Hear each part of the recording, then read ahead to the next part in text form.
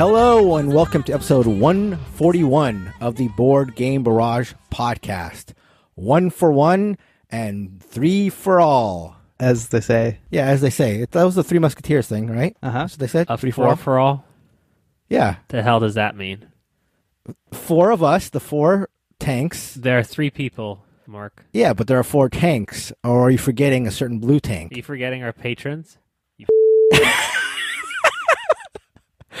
Uh, I am the green tank, and with me, as always, are two of the four for all tanks Kellen the red tank Hello. and Neelan the orange tank. Hello. Today, we are talking about expectations. What we expect when it comes to when we hear a game is being published by a certain company or made by a designer, or when we see that price tag $100 game. What do you expect when you see that? $10 game on the other side. What do you expect when you see that? So, we're going to be talking about what expectations we have when we see various variables. One could say Great Expectations, What to The expect when you're expecting? novel by Charles Dickens. Who's your novel by? Neelan? I'm just attributing to mums everywhere. There you go. Do you know what Great Expectations is, Neelan? I, I am aware of the Charles Dickens novel. Are you? I Who's the am. protagonist? Uh, you know what? I actually don't know that. I've not read it. His name's Pip, Neelan. I'm so His sorry. name is Pip. It's a good name. Before we talk about expectations, let's talk about known quantities, those being the games that we've actually played. Kellen's going to start us off by talking about Shobu. I'm going to follow up with my play of Pan Am, and Neelan will round us out with a game that is wrapping up its Kickstarter, Planet Unknown. Kellen, tell us about Shobu. Well, I think that that segment where we tell all the games, you know, that we are covering Yeah. is really revealing who's the best hype man. Um, That was of smooth. which you are the worst. Are you kidding me? I That mean, there was so there was no drama. Smooth. Where I at built it silky smooth, I was like, I said, Kellen's to start us off. like I'm a stepping boring up cup next. of tea. and then Neelan rounding us out. I used all the the right language.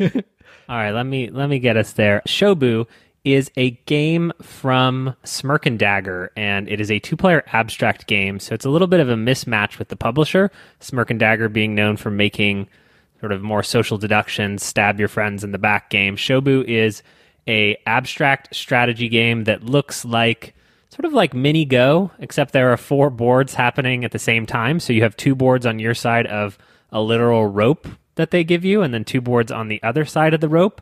It's a four by four grid so there are four of them four black rocks on one side four white rocks on the other. So the main conceit of this game is essentially each turn you take a passive move and an active move.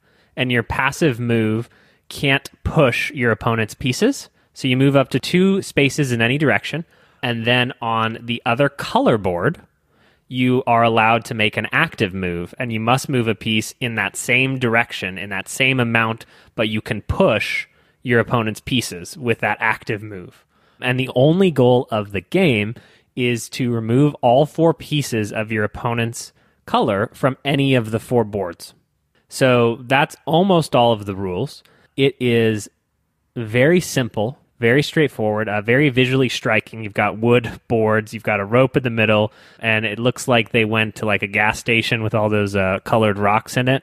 and then like picked out the black ones and the white ones because there is no size that was too weird for them to include in Shobu. This is a game I've played now four or five times, uh, multiple times with Christina, multiple times with my brother, and enjoyed it a lot. I think that the fun part for me is that moment of, oh, I actually don't care. Even if I get down to one piece on this board, that's fine, provided I can screw up Mark enough on the other board. And so there's this back and forth where you're almost like putting people into check on every board. You know, it's like, okay, I can't figure that out there, but I'm only one move away. So now I'm going to pivot to this board. And as you lose pieces, you actually lose the ability to control other boards because you have control over two boards on your side of the rope, and those affect the opposites, which one of those boards is on your side and one of those boards is on their side. So you actually have to look at a picture of this, I think, to even understand what I'm saying, because I'm saying it very clearly, obviously, but uh, but like you have more control over your side of the board, so you can make a passive and an active move on your side as long as you make the passive on one board and then the active on the other. So you have less control of what goes on on the other side of the rope. And that is a good thing to think about because that is literally the only use for the rope that they have included in this game, which is the thing. Beyond the rope, son, you have less control. The passive and active move system is fine. I like this game and I would be excited to share it with both of you and play it once. I think the real fun, the real pleasure here is the fact that each board is slowly spiraling out of control and you like win on one and are losing on another, but all that you care about is getting one to to win. I think that's a fun conceit. I think Shobu is great. I think people who like abstract strategy are going to love it, and and they have. Reception has been very very positive uh, to Shobu. I'm not unconvinced that there is a first player advantage, but maybe I just need to get good. What do you guys want to know about Shobu? First of all, how long does a game last? We're talking about like 15 minutes or so. Yeah, and I think too that like chess, there probably is a moment where once you're good at it, you know that you've lost already. Sure. And instead of dragging out the inevitable, you know, 10 minutes of tit for tat, you kind of just end it. How does this stack up with other two-player abstracts like Onitama and the Duke and stuff like that for you? Yeah, I, I like Onitama a lot. I haven't played the Duke. I don't really like two player abstract games. Yeah. So I do think there's a limited shelf life for this game, even though it's beautiful and I really like it. I kind of had hoped that it would be like a mini Go replacement, you know, that I could leave out and always play. And I don't think it has that timeless property for me. You know, I still have plans of getting a custom made chess set. Okay. One of the pieces is pink. Let me guess. One of them is light blue. No, not Pokemon. In this one, like imagine the shiniest paint, Okay. and then it's even shinier. Like it's dripping off of it, you know? And one of those is light pink, and one of those is light blue. Wow. what do they look like though? Oh, classic. Staunton. What are you talking about? Come on, man. Is Staunton a classic chess? set? Actually, I really wish that I was sure of how to pronounce Stanton or Staunton. Is that the classic? Yeah, that is the classic chess. I would never have a chess set that was not just the Staunton pieces. I had a friend who was quite good, had a, a very good elo in chess, and we used to play every night over mint tea, peppermint actually. and I didn't beat him till like the second to last day of my six month stay with him, and the Padawan became the master. I like chess actually. Surprise, surprise. Queen's Gambit, blah blah blah. I've not played chess since high school, but I did like it.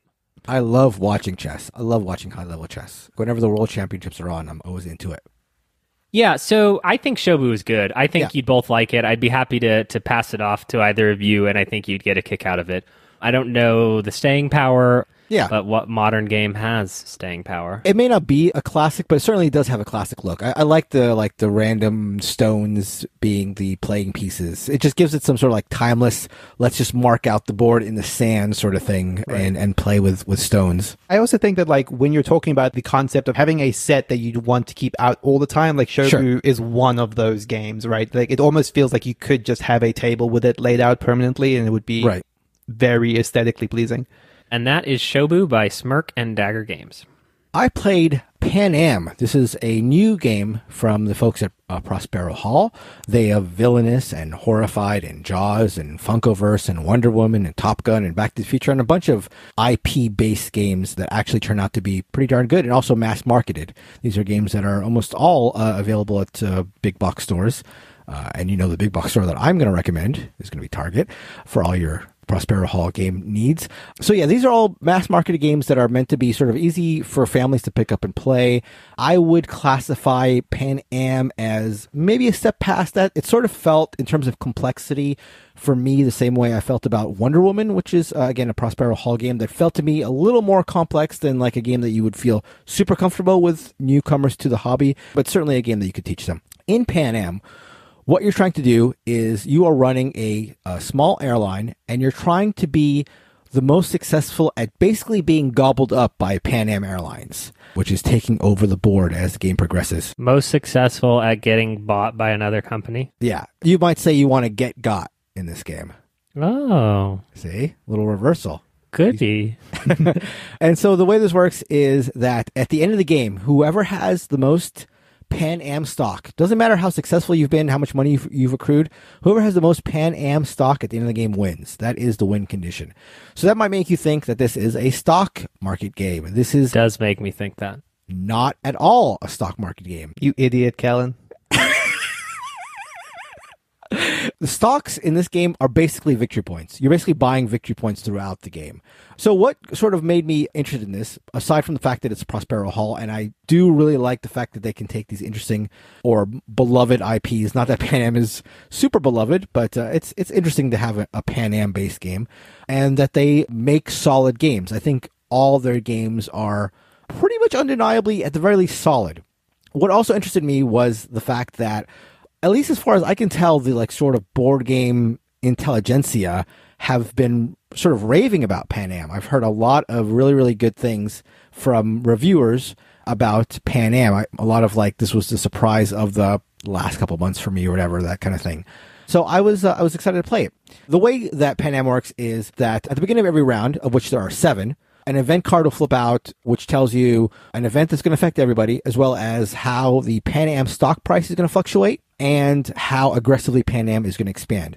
Then you are placing your engineers, which are workers, on the board in one of uh, five spaces. You're either placing them to bid for airports, which give you the rights over landing in a city and also income. So you, if you win the airport bid, and the bidding is Cyclades style, where there are numbers printed on the board, and if you want to outbid somebody, you can, but you have to select one of the higher numbers.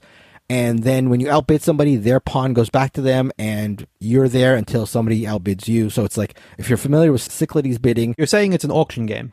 it is an auction game. At least in three of the five worker placement spots, it is an auction game. That's correct. We've never heard of Cyclades, though. That wasn't one of the 27 games we mentioned in our All About Auctions. I think Nealon had a rant on it that I cut out, but yeah, I think in the final cut, We'll have to go back and change that title. to almost all about auctions. It's still all A's, almost all about auctions. Anyhow, so you can bid for airports, which give you presence in a city and also up your income. You can bid on these destination cards that come out, and each destination card is a city on the board. So if you win the auction for a destination card, you have landing rights for Manila or for Los Angeles or wherever city that you win. You also bid over planes to add to your fleet. So those are the three places where you bid. Your workers can also go in two other spots, which are the ability to place routes. So if you're first in line in the route location, you can build your route first. And then finally, the last spot is what's called a directive spot, where you get these cards when you place a, a worker there that allow you to bend the rules in subsequent rounds of the game and also give you priority placement in further worker placement spots. So you place airports, you gather these city cards, and you up your fleet. And what you're doing is once you start building routes, when you have workers on the route building space, you can build routes anywhere on the board as long as the two cities are connected. You have presence in the two cities, and you have a plane that can make the flight. Presence in the two cities is based on like having either an airport or the city card. So, you know, if I want to do a flight from Tokyo to Nome, I either can have an airport, say on Tokyo, and the Nome card, or some combination. There's ways around it, but you have to have presence in two cities.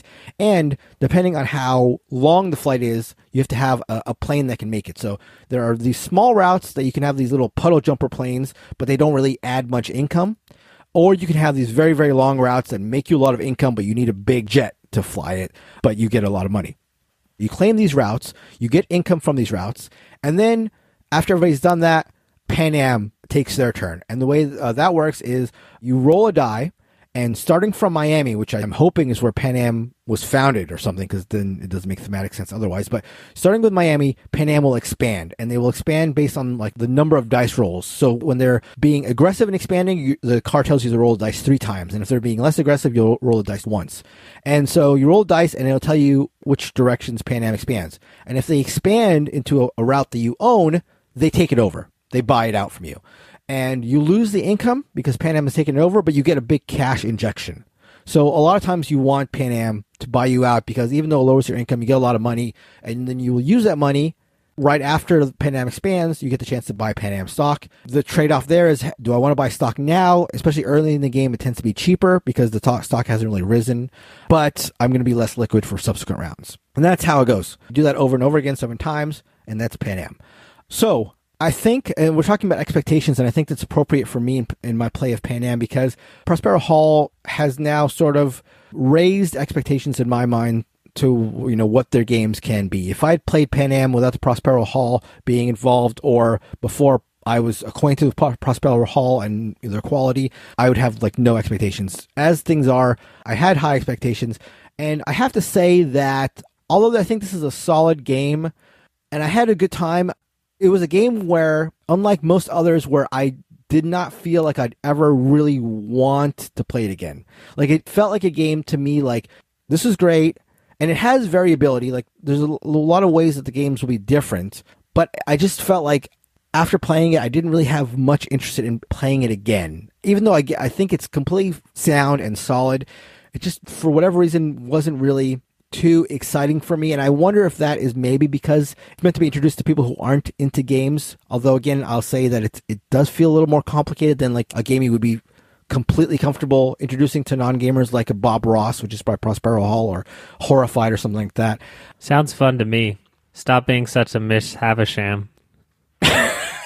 is this what you can do? You can have uh, Great Expectation references the entire episode. I don't know. I think it was again the expectation level from Prospero Hall and from all these great reviews. Like all these people are like singing its praises, and again, I think it's a fine game, but I I didn't see anything especially sparkling about it. You know, I'd be happy to play with you guys, but I just did not feel any drive to play it again after packing it up. I'm actually genuinely bummed because I, I, had not seen pictures of this before, but pulling this up as we tend to do when other people are talking about games we've not played, I've been looking at this board and the art for the cards, and I think it looks stunning. It has a really cool like retro look to it, like yeah, the cards with like the art, uh, you know. Yeah, the card art's good. Little plastic planes. This and weird ass projection of the world. It's it's great. It's totally solid. I think maybe those like directive cards that I was talking about that allow you to bend the rules maybe would introduce a little bit of randomness and swigginess that people wouldn't be super happy about, especially people who are like hardcore gamers might be a little turned off by that. I thought it was okay, but I just don't know. I don't know. I think expectations legitimately hurt this game for me. We're too great. Yes. there was always Dickinsonian levels of expectations to me for this game. But uh, anyway, I'm not panning it, but uh, I'm not amming it. Am I? Oh, no, I don't know. God. I don't know. I don't know. I wanted to do something there. Uh, but that is Pan Am by Prospero Hall.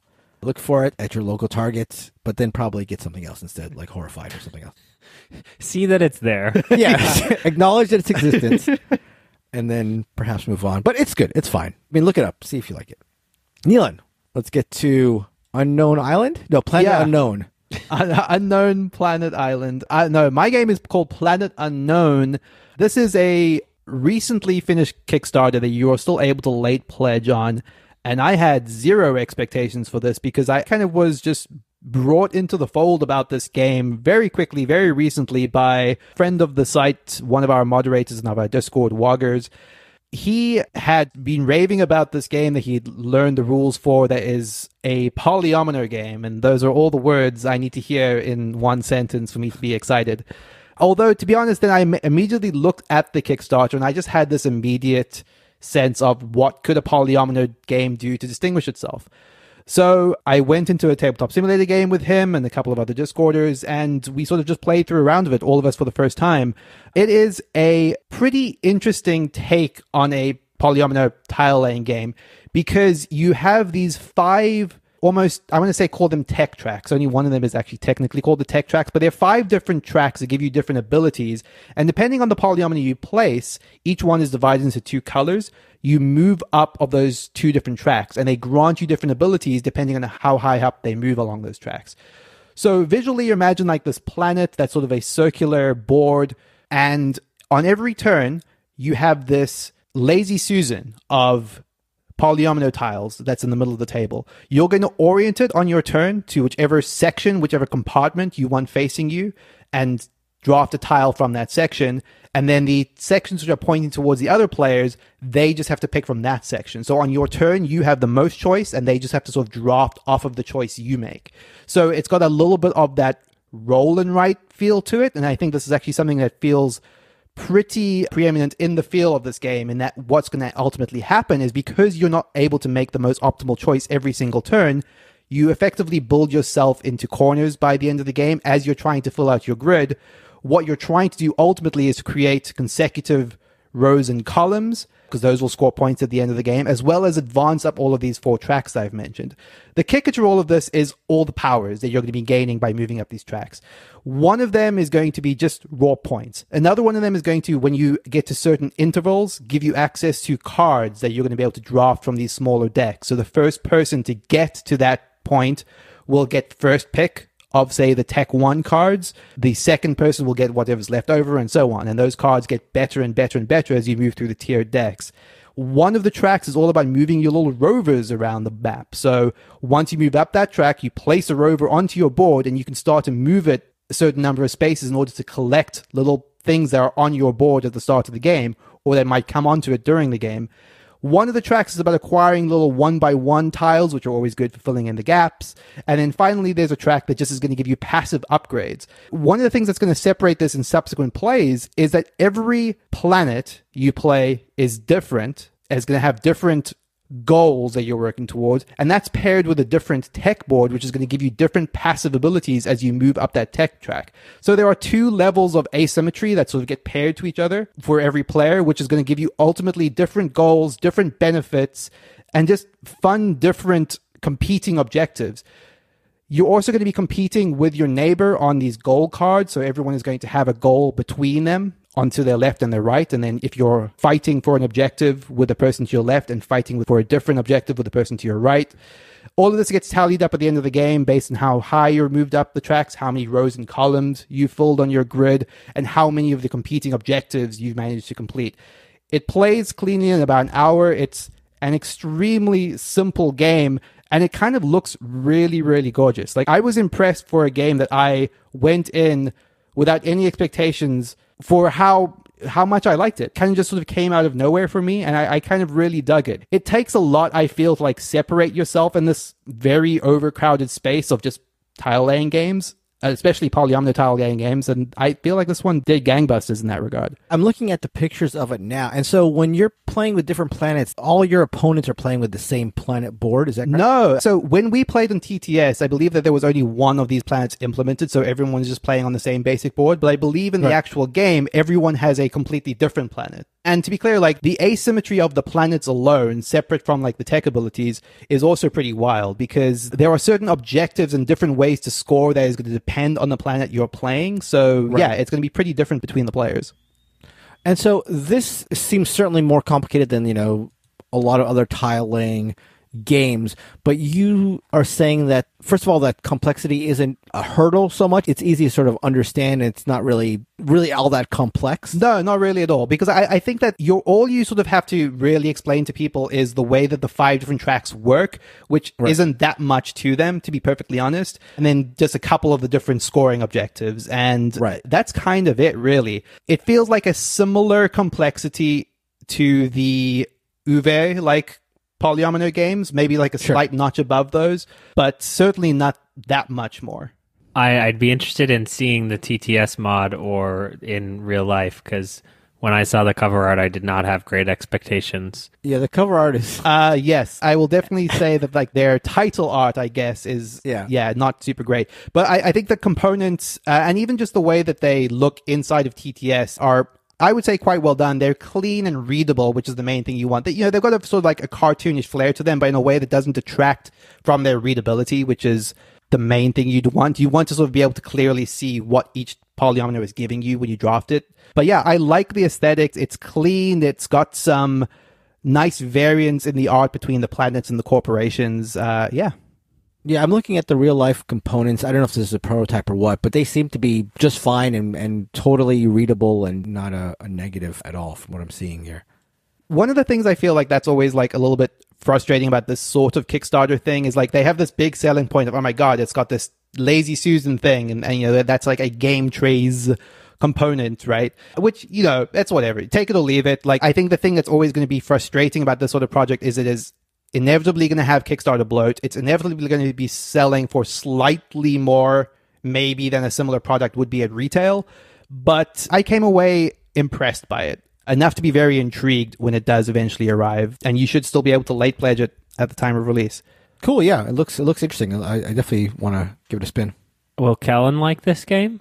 Potentially. Actually, one thing I sort of actually forgot to mention that you just reminded me by asking that question, Kellen, is it's got a little bit of the Ganz schön clever sort of like, if I go up this track, it's going to allow me to go up this other hmm. track as well. And you sort of, if you optimally time it, you're sort of bouncing up multiple tracks all at once. It's got the slightest hint of that to it, which I know you like that. So If that became my joke to just ask that question, then I wouldn't even have to listen at all while either of you were talking.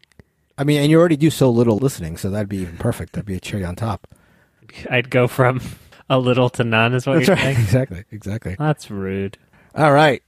So, before we get into expectations, great and otherwise, I just want to put a shout out that we are officially going back to Apecorn math trades. So, we ran our first three math trades using the Apecorn system, and they were big hits. And in fact, they were such big hits that the admins over at Apecorn are going to be implementing what's called a perpetual trade for Board Game Barrage listeners and other folks.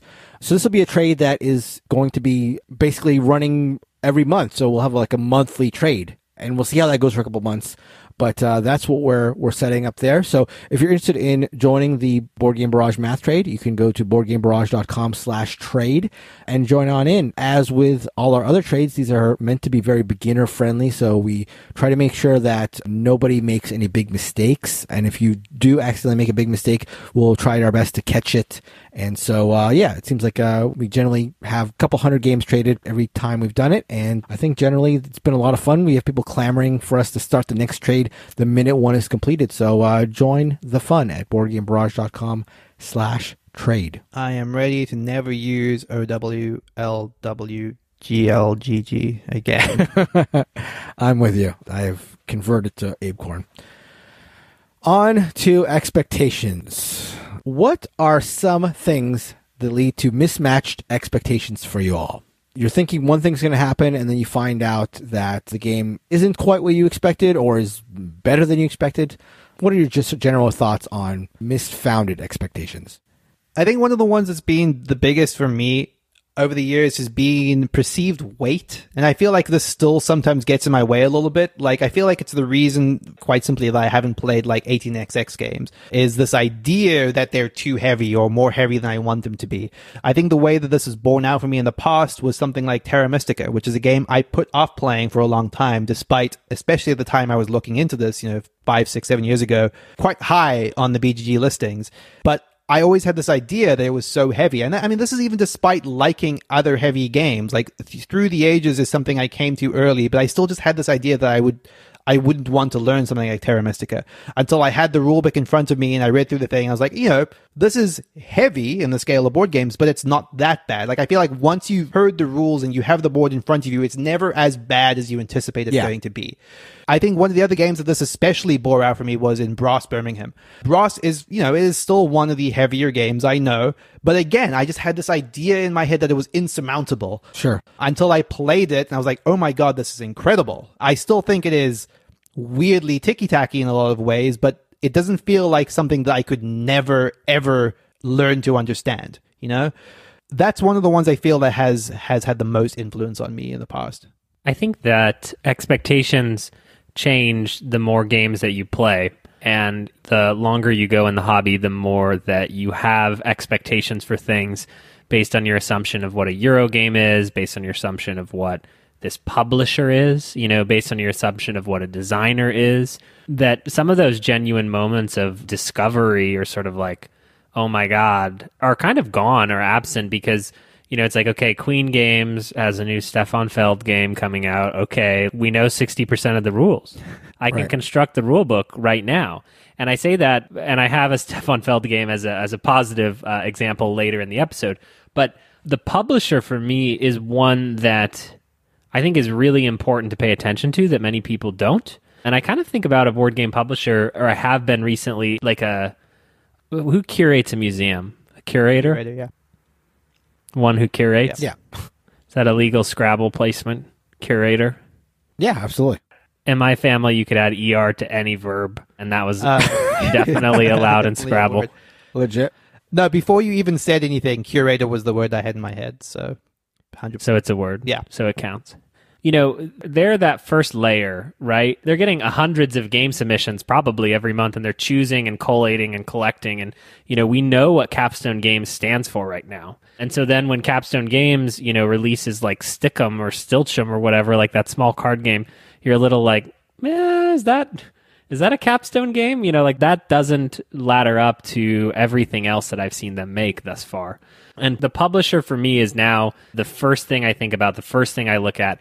Five years ago, Fantasy Flight was, oh my God, you know, everything that they did, I was excited to check out. You know, in the Battlestar Galactica, Twilight Imperium, Cosmic Encounter. And now I probably won't play a, a Fantasy Flight game. So for me, like, I think a lot of the mismatched expectations are internal and just come from experience. And I don't know whether that's good or bad, but that is how I think about expectations when it relates to board gaming.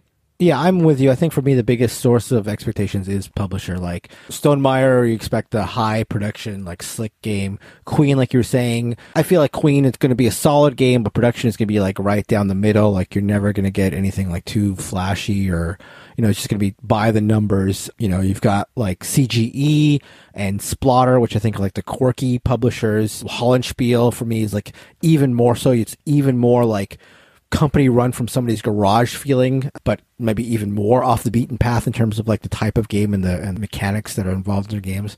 But yeah, for me, when it comes to publishers that I almost always am going to be getting or interested in, it's going to be Capstone and What's Your Game. Those are the two publishers for me that are almost always going to go after when they when they're releasing a, a new game. There's also the designer, Knizia. I think you're always going to expect a solidly built game, but not necessarily always like a winner. Like, you know, I've played a bunch of Knizias that I think are just completely sound, but not interesting enough to be something I want to hold on to. But Mark, Yes, can Uwe Rosenberg make a Bonanza, or must he only make farming games for you? I mean, he made a Bonanza. I know it was fantastic. Yeah, I But love. did I love that Bonanza. mismatch your expectations? Did you get all jumbled up inside? Mm-hmm. That was his first big one. Was Bonanza. Uwe is like a chameleon. He, well, I guess he's like sort of a chameleon that milks Farming. well, farming or you know tile laying, he, he finds his thing and he just like jumps on it and gets it for all it's worth. But you know, there's also like you know Lacerda. You know, it's going to be complex to the point of perhaps being overcomplicated. You and you've got like Whirly, who I think makes interesting designs. So those are like the biggest sources for me. Mainly publishers and uh, and designers is what I'm looking at. So speaking of expectations and where we seek them or where we're looking for them, when was the last time you guys were surprised, be it pleasantly or otherwise, by the expectations you had for a game? I have now played 1.7 games of Macao uh, online by uh, Stefan Feld and have just been delighted by how harsh it is. You know, going into a Stefan Feld game, I have the expectation, right, that it's going to be some mishmash of mechanisms, which it is, with a bunch of ways to score points, which it is, but that it's more on this sort of side of everything is great and some people are just a little bit greater. You know, like salad is always good for you. You know what I'm saying? Sure, especially with at the point salad. with the point salad. Why would you? You can't you Right when gotta- I was you gotta hit that joke quickly. That's not a joke that's Uh, gonna like ferment well. Or Do you understand timing? yeah, I was helping you out on that very point. This must be lag because usually you're a little better than this. and with Macao, it's delightfully punishing. The central mechanism is essentially select two dice, but but you know if you select one, you get to use it right now, and you may need to use it right now because you get punished if you don't have any dice.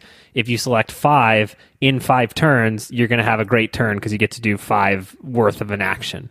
And so that mixture of having to plan out whether to take a benefit now or to plan for the future is really, really agonizing. You know, the, you're fighting a, a battle on multiple fronts. You're fighting the turn order track and you're trying to get adjacency and you're trying to collect resources and you're trying to get your boat to places first to get the most points.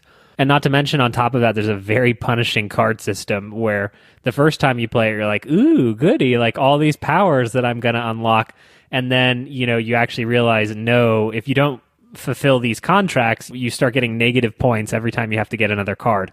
And so suddenly you're like, oh no, I actually just have to take the worst cards possible with one cost, you know, and you get stuck or you get trapped in this take both of the ones, hope that you can get a card. Otherwise, you're just going to get negative points. Yeah. And so my perception of Stefan Feld, having played I don't know, six, seven, eight, nine, ten of his games perhaps, was not lived up to when I played Macao and have been pleasantly surprised.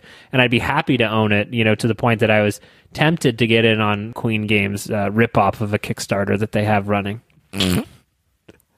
Yeah, I'm, I'm going to go back to something I mentioned in what we played uh, with Prospero Hall, where the expectations for them have sort of swung for me. Uh, you know, you see these IP driven games and you have low expectations and you see them on Target shelves and you don't think they're going to be gamer quote unquote games and then you start playing them and they're all you know super solid if not great.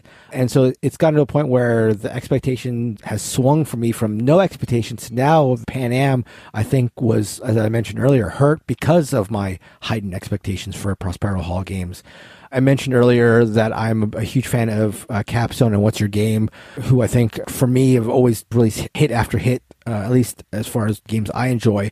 But What's Your Game I have had a couple games recently that have been flops for me. Railroad Rivals and Loot Island were two of their recent games. They release a game or two a year, so you know, sort of along the lines of Days of Wonder, where they have this one game that you're expecting and you you feel like they're gonna have a lot, a lot of polish. What's your game is sort of like that, and so I was especially disappointed with Railroad Rivals and Loot Island because they were their releases and fell a little short for me. And Capstone is, I think every single Capstone game I've ever played has been a game I, I really enjoyed. And so, uh, Ragusa, which was a game that even looking at the rules, a cursory reading of the rules and looking at how it played, and it has like unique mechanisms, everything seemed like it'd be a game that I would enjoy, but it's a game that fell flat for me. And because of Capstone's like enormous success rate for me, just having one game for them that like really fell flat was especially even shocking. So it was a situation where Capstone's super high expectations hurt. A game that's solid, but felt like especially like a flop to me. Yeah, I think the most recent unpleasant surprise in terms of expectations I had is also in the vein of publishers who have consistently delivered games I've liked. In my case, it's CGE. I can't think of one of their big box games that I don't like at least a little bit. Like, I would say the closest a game that they've made to being one that I didn't love was something like Tash Kalar. Even then, I was surprised on revisiting it with Kellen recently that it had more than I had seen on first blush. Sanctum, on the other hand, rode a roller coaster of expectation for me because I liked the premise of this so much, and this was now the follow up game from Filip Neduk, who had created the excellent Adrenaline. So that married with the CGE label and the promise of them delivering a Diablo video game like experience was something I was really into conceptually. I also played that game at Gen Con in demo format. And I came away being very positive on it, but with one question which they chose not to demo to us was how does the end game work? And it turns out the answer to that question is that the end game doesn't work because that is the biggest flaw that Sanctum has, and that kind of derails the entire experience in a lot of ways. I also feel like it, it starts to feel a little bit even after the first or second game of it, you start to see the basic loop. It, it's pleasant enough, but it doesn't live up to, I think, the high expectations I have on a CGE game. They have a lot of games that are just ultimately some of my favorite games through the ages, Tzolk'in, and I think the expectations perhaps were too high just on the basis of that. Otherwise, on the pleasantly surprised spectrum, Unmatched is a game recently that I, you know, going in thinking that this was going to be just another version of Dice Throne, which was a game that I didn't love so much especially when you sort of compare it to something like Funkoverse, which I don't have any strong opinions on Funkoverse, but like my expectation when you tell me, oh, we're going to cross mix all of these licenses together and it's going to be a one versus one battler that people are comparing to Dice Throne, I went in with very low expectations and I was pleasantly surprised at how well it sort of works, despite being this weird mishmash of multiple licenses. So I think even if you're not very well acquainted with these publishers or with these designers or all these other different variables where you can sort of source your expectations, one thing that is a clear area where you can have expectations set is the price tag, is the sticker price on the box.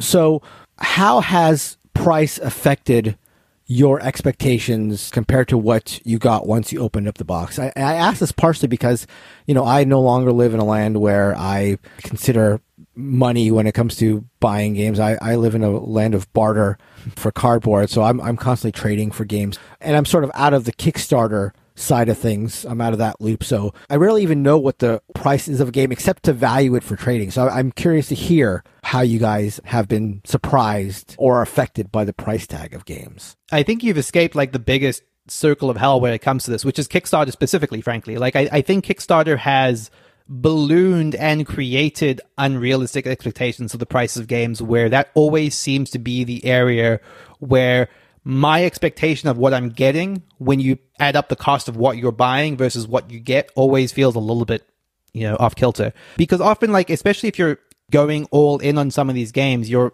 often creeping into like the past the hundred dollar mark for a single board game. And obviously that comes with a lot of content depending on the project, but you still are paying a lot for a single game ultimately. I think that the times where this has been felt the most keenly to me is when I especially have very high anticipation for a game. For example, in the second Kickstarter run, for Seventh Continent is the example that I keep coming back to in my mind, where this was a game that what you know had already had its first Kickstarter fulfillment. It was lauded, it was praised, and then the second Kickstarter launches, and I'm like thinking, this seems like a lot of money to pay for this game, but people are raving about it. And then because I've spent that money on it at the time it eventually comes, which is, you know, a year, months later, I suddenly have like all the expectations in the world about what this is going to deliver. And frankly, I don't think Seventh Continent is that great. So that like gulf, that differential, I don't think it has ever been bigger than it is right now with Kickstarters being what they are. I think Seventh Continent is the number one game in terms of games that I see for trade or for sale on the secondary market. Like everywhere is like Seventh Continent. That's like the number one game. Well, that's good because you can soon get the number one game on the hotness right now, Seven Citadel, the follow up to. oh, really? I did not even know about this. Wow. I would have gone with the Eighth Continent, but all right, yeah, move it on, move the franchise on. Yeah, that's how you know it's better because it's higher up. Yeah. Money and price and expectations. I think Nealon is is hundred percent right to use the the phrase expectations in close conjunction with Kickstarter because that is what you buy games on Kickstarter based on expectations. Almost every time I've played a game before a Kickstarter on Tabletop Simulator during a Kickstarter, expectations are deflated to some degree.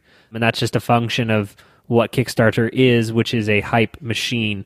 When you start talking about price, I do think that we as a podcast have, you know, enough review copies now that that also starts getting a little bit of fuzzy around the edges for us in terms of really, really evaluating it. I think that I try my best to judge things based on replay value for price and not really the components in the box. I think that when a game gets above around $50, I look at the box and see what I'm getting, you know, and those ones that, that are two thirds insert, you know, uh, and then like cards in the corner. I'll go back and look at the MSRP and kind of question that quizzically. But for the most part, my expectation for whatever that means is that I will play something like over $50 more than five times. And that something in the 20 to $30 range, I'd be fine playing that twice if it's not a crappy card game, you know? But I think that what I need to stop doing is buying games where I know I'll like it like one time. You know, like that one time is enough to justify because in Corona Land, it's just been crazy. You know, I just have games, so many games right now. I don't know. I'm going off topic. I'm sorry.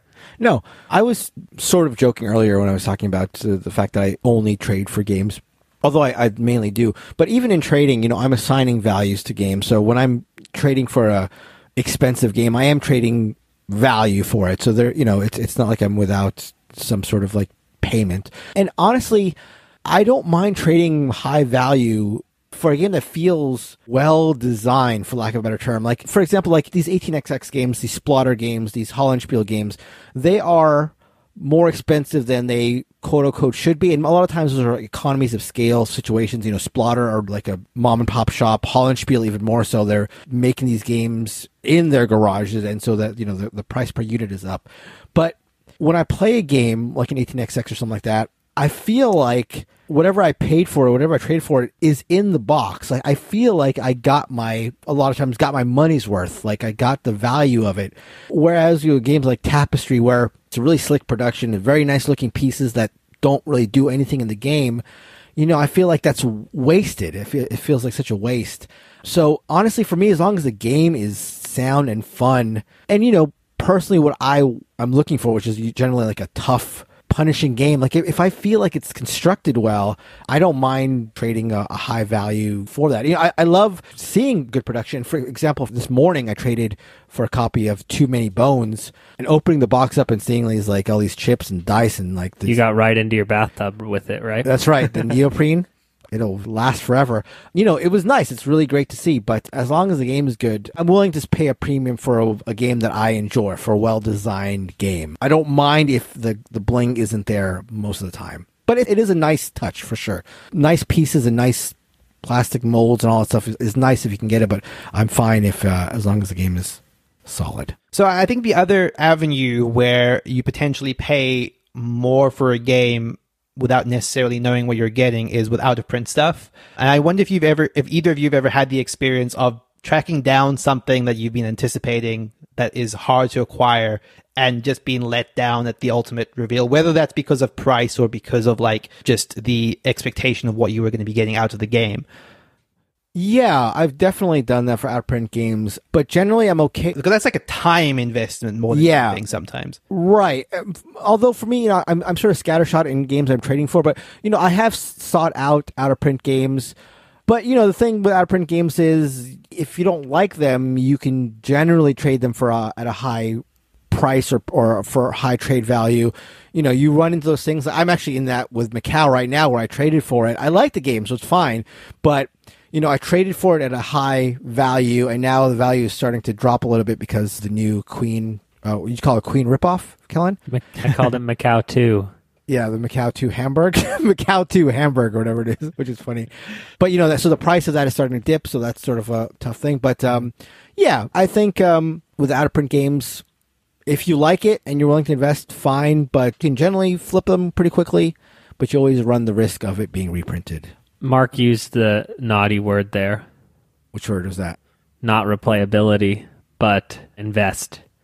Um, I, I, you did say it. I did say roll it. the roll, the tape. Yep. I think this is pertinent because I'm talking about uh, getting a copy of Stamps, uh, which is one of Oink's first game releases, and it's Japanese modern art in an adorable case. And the going rate is 250 ish, but up to like over 400 on BGG. And and at that point, you're talking about like a collection item as Yeah. opposed to like a functional board game. And so you're off in La La Land, and, and that expectation will never match. You know, it's not worth that amount of money. Totally. Right. And even Square on sale, you know, a game I uh, talked about last week in our auction game, someone in our Patreon Discord channel asked how much I paid for it because they wanted to get it. And, you know, I translated the um, funny money, or as they call it in Japan, yen, and figured out that I had spent about 70 bucks on it. And that did cause me to sort of reevaluate and say, like, do I still recommend it to people at that price point? Yeah, you know, and I had, sure. I had to give that caveat. And, and, and for me, you know, I like Japanese board games, and therefore I can add twenty dollars to the price. But that's a bias of mine, and you know my expectation for that Japanese game that I'm literally importing from Japan. I'm not evaluating it as a seventy dollar item. I'm evaluating it more in the forty to fifty dollar range Right. because I'm paying like a luxury tax. Mm-hmm. You know, because my tastes have gotten stupid. Right. Yeah, I, I've been thinking about this a lot in just in the context of buying Glory to Rome and not getting the terrible Arthur edition. But then as soon as you start looking into the into the black box edition, it's obviously the prices on that are just absurd. I'm still saying we start up a rival Kickstarter company and we just release Glory to Rome and with new art and we don't call it what do we call it? Race for Rome because it's like Yep. glory. It's it's basically race for the galaxy. What do we call it? Import Rome or export? Glory export. and we would make a ton of money. We'd be doing a service to the board game community. And the only one who would hate us forever is my best friend, Mr. Carl Chudyk. Who cares about that? Cash money. So that's going to do it for our discussion on expectations. But why don't you go to boardgamebarrage.com slash discord and go to our podcast channel and talk about games where your expectations were met or exceeded or were crushed, especially the latter, because I'm always interested in hearing tales of heartbreak. That's what I'm into. As always, you can find us on all forms of social media. We're on uh, Instagram, Facebook, Twitter, all that stuff. You can find uh, our website at boardgamebarrage.com, our Discord at boardgamebarrage.com slash Discord, and our math trade, which you should definitely join because they are super fun at boardgamebarrage.com slash trade. So Board Game Barrage, there's three sort of tributaries coming from that river of power. Thank you as always to Heart Society for our intro and outro music, What's on Your Mind, Kid? And until next week, see you guys later. Have fun gaming. Bye. I'm high. I'm ready. I want you to save me from myself. Did we clap? I don't know that we did. Oh, we didn't even clap. We didn't clap. Like a bunch Uh, of it's a suckers. challenge. Yeah. Uh, three, two, one. That cadence Um, was terrible. Three, two, one. How are we supposed to match your clap if you say say it like that? All right, I just hope that you play the tape unedited this week so people can see what an you are. Uh, Mark, yes, sir. your description of Pan Am was so long that I won a beautiful Pokemon card auction on eBay during it. Which I'm card? serious. I want to show you right now. Okay. It's um Shining Mew, CoroCoro from Japan. It's really cute. Whoa. Oh, you know what? One of our listeners, I keep meaning to mention this, but one of our listeners included a Pokemon card that looks a lot like this one. I'm sure it's not this one. What? In a game that he sent me. Okay, and you were gonna give that to me when? I assumed I it'd be worthless, but hold on. Let me actually let me grab it. Hold on. This one was. Oh, I'll tell when he comes back. Okay, here actually I found it. I honestly thought I might have lost it, but luckily it was like right on top of these boxes. Perfect. Anyway, it's actually not a hologram, but it's this guy. It looks ex- identical. you were gonna give this to me when, right? Yeah, like today I was gonna give it to you. what is this guy? This guy looks like he has blue hair. I don't know what he is. What? But Mark, guess how much this Pokemon card is? It is No, no, no, mine, not that. No, have I know, I know. I know, I know. Okay. twenty dollars. Nope. 20 cents. Going higher or lower? Well, that's, that's the game. okay, what do you, gotta get okay. You gotta give me colder You're or going warmer. hi- you're going okay. higher. Okay, twenty. Higher. higher, Twenty-five. higher, Thirty. higher, Look, I bought We're going to be here a sports while. cards before, so I'm okay with this. I have no problem. Uh, fifty. higher, Sixty. higher, A hundred. lower. Okay, seventy-five. But only because I sniped him while you kept talking. well, they thank me for that. Uh, what ninety-five? yeah, it was something like that. Yeah. Something like that makes me think it was on the higher end. Yeah, it was like 98 or something plus shipping. What makes I don't know. I mean, it's a dumb question. Like, what makes that so valuable? But it's probably rarity and yeah, it's from pre 2000, oh, okay. only printed in Japan. This one I'm looking at has Japanese writing on it, so that's good, presumably. Yeah. But the copyright is 2013. Yeah, that that's gonna hurt your uh, value there. Oh, it's number 516. Oh, that's a good number. That's in English. He's got 90 hit points. That's got to be good. yeah. You want at least 90 hit points on your Pokemon cards. That's right. That brings my total army of Pokemon's hit points up to 90. Yeah. Just field your deck against Kellen's if he wins. I mean, I will say you left it in a very prominent position in your house. You know, like right there where you Yeah. could get it at a moment's notice. Look, it's a genuine Pokemon card. You can see the back right there. That is. I'm yeah. not lying to you. Yeah, If you flip it upside down or right side up, it says Pokemon on the back. It's so the you know it's legit. Although the ball doesn't work. The ball is upside down clearly here. yeah. This is all making it This on the is episode. play, I'm yeah, sure. this is playing well on the audio podcast. yeah. It's not a, a visual palindrome as I might have hoped. All right, enough of Pokemon. I'm looking forward And to I was getting- feeling good today, Mark. You, know, You were? Want to know? Yeah, you want to know why? because you want a ninety dollar Pokemon. No, I was rummaging through a drawer Okay, and I found a picture of me. Some chapstick that I had never seen before. Okay, makes And. I then I looked at the flavor and I said, "Ooh, vanilla latte was the chapstick flavor." Okay. And I put some of that on and I had a, a nice time by myself. Christina stopped by. She said, "Ooh, what does that smell? Ooh, goody." Yeah, and then she told me, she told me that I could get kissed more Ooh. if I wore that vanilla latte chapstick. Nice. So now I got my lucky vanilla latte chapstick today. Well, there you go. And then you bought a Pokemon card for ninety dollars. So And and then you It's have getting tried better to and better. kill my vibe, dude. well, Can hold. Let me go reapply. okay, I'm back. I definitely want to. I definitely want to give Planet Unknown a spin, which it can do since it has a lazy Susan. Get it? yes, I see what you did You there, see that? Mark. That's, that's comedy. So that is Planet Unknown by Adams Apple Games. I just found out this Pokemon is called Simipour, and his base friendship is seventy. What the hell is base friendship? What's base friendship? What kind of stat is that?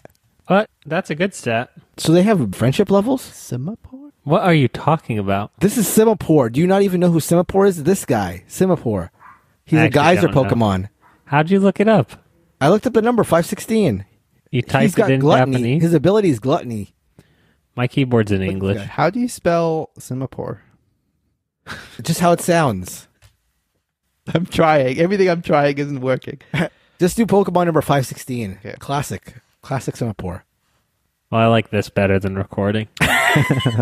Simapore. He's kind of ugly. What? Oh, he's been in the anime though, so I should have remembered his appearance. Yeah, the gender ratio is eighty-seven point five male to twelve point five percent female. What does that even mean? Does that mean in the wild that's where they're at? Yeah, that means the men have got it good.